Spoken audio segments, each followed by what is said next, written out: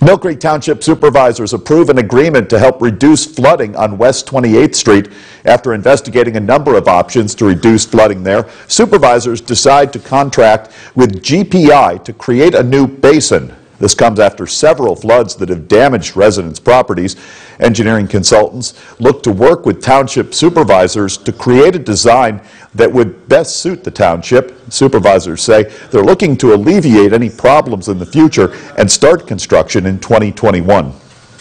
It's been an ongoing issue, uh, especially for uh, for that neighborhood. We have met with the residents several times. Uh, We've tried other alternatives, trying to alleviate um, uh, those flooding issues, uh, essentially the the roadway floods frequently.